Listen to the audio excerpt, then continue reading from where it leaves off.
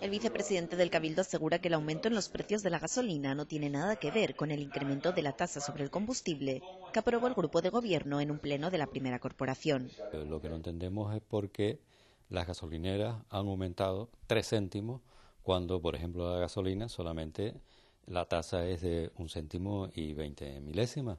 Entonces creo que hay que buscar otras causas que han hecho que la última semana eh, se eh, incrementase en torno a 4 o 5 céntimos y ahora se ha estabilizado en 3 eh, el precio de la gasolina. Entonces yo creo que es muy fácil decir, no, eso es debido a la tasa de, que aprobó el Cabildo. Yo creo que no es así. Esta tasa se aprobó con los votos en contra de la oposición, entre ellos los del PIL. Una doble repercusión, no solamente la que impone el Cabildo, sino la que aumenta en sí de manera paralela las gasolineras, aquellas personas que, que venden los combustibles.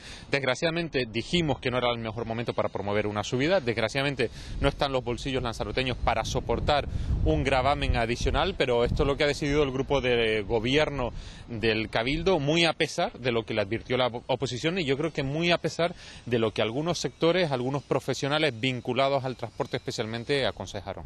El PIL cree que el dinero finalmente no se verá reflejado en una mejora de las carreteras, pero Caraballo insiste en que sí lo hará. Se promovió una subida en algunos casos que rondaba los, el 45 el 46%.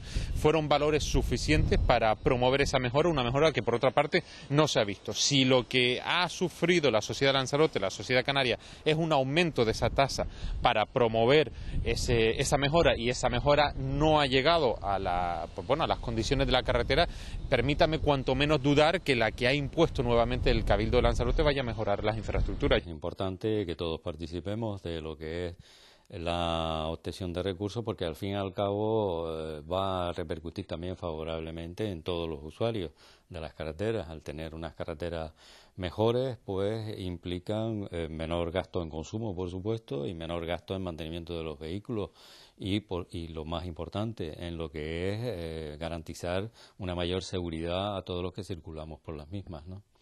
El Cabildo pretende recaudar dos millones y medio de euros con el incremento de la tasa sobre el combustible.